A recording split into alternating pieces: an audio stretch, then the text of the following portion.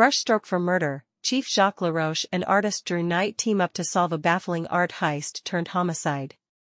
As they unravel clues hidden in masterpieces, they confront danger and deception, racing against time to catch a cunning killer before the final stroke of death is painted.